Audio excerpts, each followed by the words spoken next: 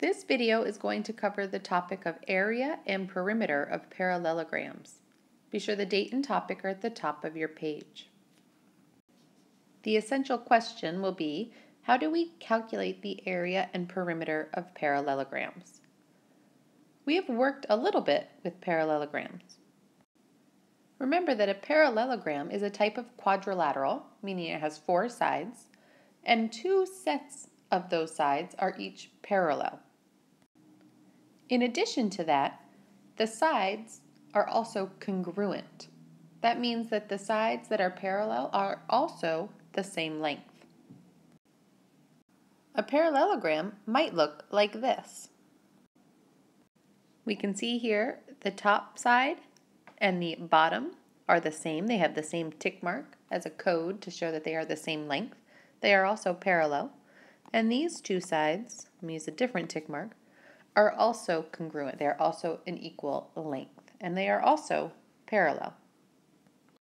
A parallelogram can also look like this. In fact, all rectangles are a specific type of parallelogram, right? So all rectangles are types of parallelograms, but not all parallelograms are rectangles.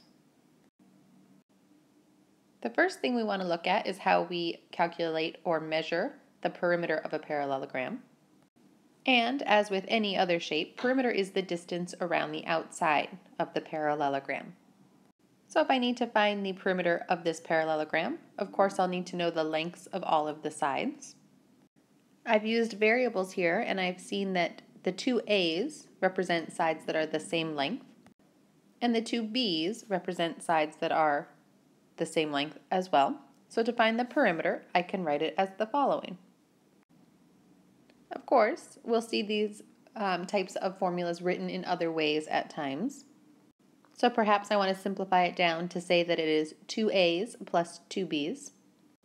Or I could say it is two groups of the A and the B combined. Right? So these are ways that we would find the perimeter. Most of the time when we see perimeter, if the sides aren't measured for us, we'll need a ruler to find the measurements before we add those up to find the sum. To find the area of a parallelogram, it's a good idea to see how parallelograms relate to rectangles. So we want to point out here that in this parallelogram, I see that if I break this into parts, I have a triangle here on the left-hand side, right? There's a triangle on the left-hand part of my parallelogram. And if I look at that, I notice that it actually would fit quite nicely right over here on the right-hand side of my parallelogram. It would fit right into that spot. Now that I've moved that over, I really see that what I have is a nice, complete, typical rectangle.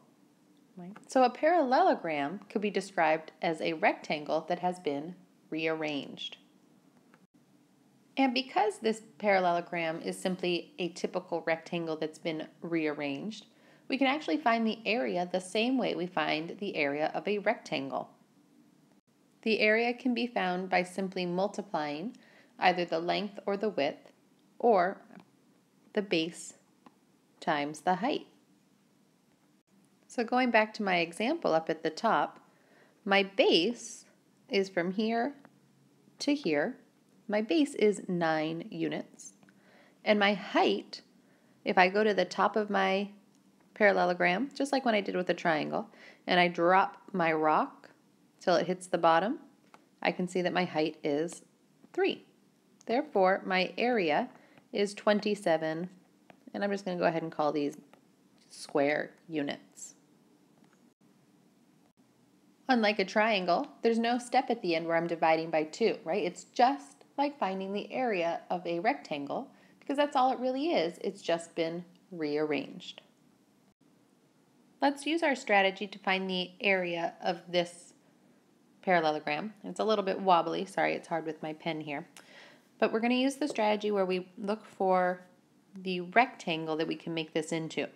So I see here that I have a line that I can make that makes a triangle. And actually that would serve as the height of this parallelogram, right?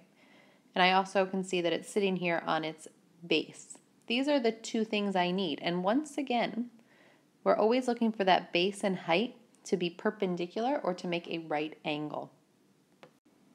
If it helps, I can imagine that I moved this triangle over to the right hand side and I can see that now it makes a nice clean rectangle, right? That's one way to think about it. Either way, I know that my area needs to be my base times my height, and in my base here is 3 units. That looks like a 5, doesn't it? Let's try that again. 3 units, and my height is, well, my height is 5 units. So I'm going to go ahead and multiply my 3 times 5 to find out that my area is 15 square units. And that's it. That's how we find the area of our parallelograms. As always, we will be doing more practice together in class, but the essential question, remember, was how do we calculate the perimeter and the area of parallelograms? We've seen that the perimeter can be found by simply adding up the lengths of all the sides, and the area is found by using base times height, and the base and height meet in a perpendicular or right angle.